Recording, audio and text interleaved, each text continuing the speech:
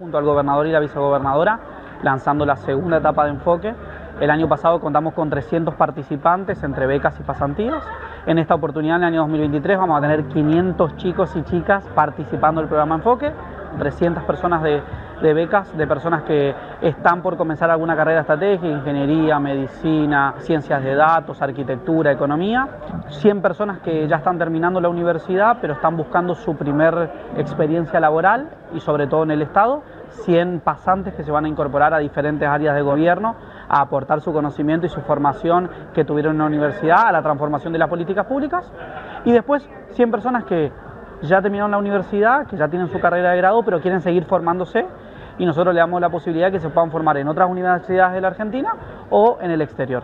500 personas, 500 jóvenes que gracias al trabajo entre las universidades y el Estado vamos a poder tener seguramente en los próximos años mejores funcionarios, mejores servidores públicos, un mejor Estado, mejores políticas públicas y eso es lo que nos llena de, orgullo y, por eso enfoque en su segunda etapa. Esperemos que sea una política de Estado y pueda continuar mucho tiempo más. La verdad que el programa tuvo un impacto muy grande en mi vida, ya que no solamente en lo profesional me abrió puertas de, pasantías en el área de la salud, al ser renumerado estas pasantías a mí me dio el acceso de poder eh, adquirir, digamos, mis audífonos, poder actualizarlos constantemente con la fonoaudióloga, que eso requiere, digamos, un costo y al no tener obra social, eh, aún más. Para comentarle un poquito, yo tengo otosclerosis, que es una enfermedad que mm, lo que te hace es, eh, te impide entender lo que la gente habla, más o menos para que ustedes entiendan pero en sí la discapacidad es hipoacusia eh, neurosensorial bilateral.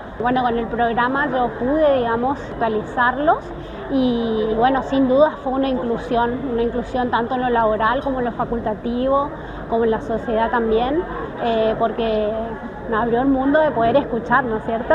Así que nada, agradecida eh, infinitamente por eso. Agradecerle también a, Santiago por la oportunidad, al señor gobernador, como dije, a la vicegobernadora y, y nada, muchísimas, muchísimas gracias. Somos el primer canal de noticias desde el interior del país.